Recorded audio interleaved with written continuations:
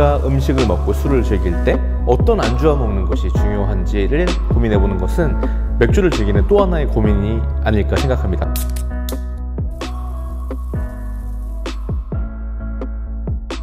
강원도는 사실 많은 식재료가 나오는 곳으로도 알려져 있습니다.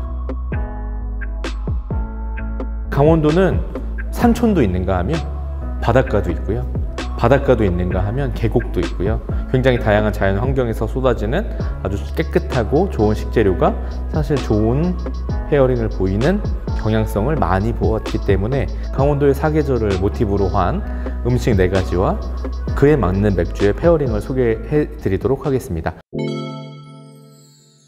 여러분들은 나물 하면 어떤 맛이 떠오르시나요? 나물이 지니고 있는 적절한 씁쓸함은 그 식재료의 풍미를 더욱더 극대화시키고 좋아하는 사람과 좋아하지 않는 사람을 아주 극명하게 구분할 수 있습니다. 그래서 사실 이 나물을 즐길 때는 어떤 맥주를 먹으면 좋을지를 제가 한번 고민을 해봤습니다. 그래서 제가 선택한 맥주는 바이젠이라고 하는 스타일의 맥주입니다. 바이젠은 독일 스타일의 밀맥주라고 하는 뜻인데요. 이 바이젠이 내는 강렬한 바나나 향과 그 안에 들어있는 아주 좋은 고급스러운 정향의 뉘앙스는 그 나물의 맛들을 바나나의 단맛과 어우러지게 만들었을 때 폭발적인 마리아주가 완성되는 걸 발견할 수 있었거든요. 바이젠이 지니고 있는 단맛이 이 나물과 만났을 때 느껴지는 환상적인 느낌을 즐기실 수 있을 거라고 생각합니다.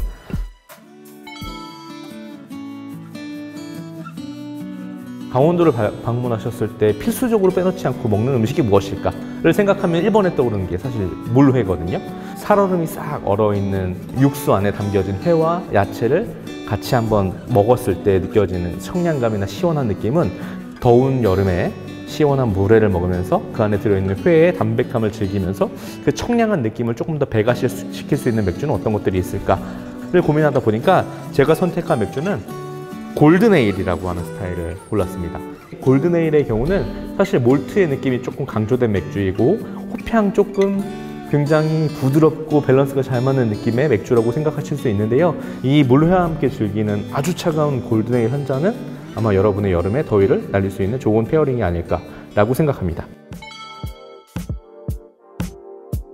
많은 분들이 강원도와 관련된 식재료를 떠올리실 때 아마 1번 아니면 2번으로 떠올리실 식재료가 횡성의 한우입니다. 사실 워낙에 청정한 자연 탓에 소가 숨만 쉬어도 건강해진다 라고 하는 닉네임이 붙을 만큼 굉장히 좋은 환경들을 지니고 있는데 소고기는 굉장히 좋은 소고기일수록 기름기가 많거든요. 사실 그 소고기가 주는 느낌이 어, 두 번 먹기는 어렵다 라는 의견이 많아요. 왜 그럴까요? 다소 느끼할 수 있는 풍미 때문이다 라고 저는 정의하고 싶은데 조금 더 한우를 효과적으로 느끼하지 않게 즐길 수 있는 방법이 무엇일까 라고 생각해 본 결과 제가 선택한 맥주는 IPA라고 하는 스타일을, 스타일을 선택했습니다.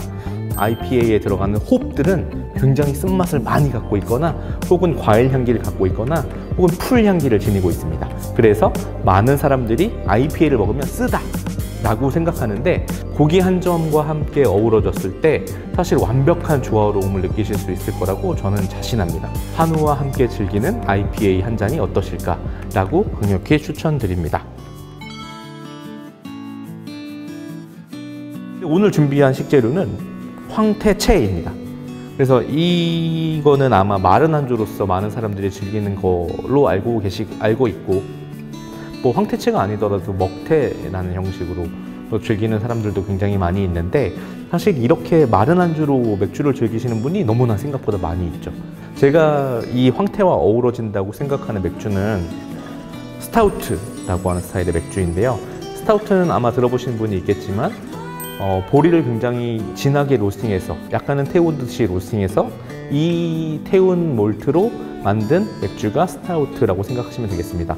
이 태운 malt가 주는 굉장히 smoky한 느낌이라든지 입안에 가득 채우는 풍미라든지 잘 구워진 몰트에서 오는 풍부한 느낌이 사실 황태채가 줄 수 있는 다소 마른 느낌 혹은 입안에 거칠거칠한 느낌을 줄 수 있는 것들을 중화시켜서 어쩌면 조금 더 풍미를 폭발시킬 수 있는 특징이 살아날 수 있다라고 판단하기 때문에 이 맥주를 선택했습니다.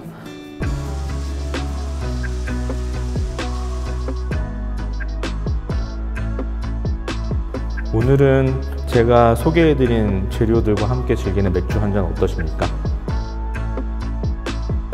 강원도 땅에서 나는 식재료들, 그 땅에서 나오는 물로 만든 맥주, 이 둘의 pairing이 얼만큼 폭발적인 느낌을 가지실지는 여러분들의 판단에 맡기겠습니다.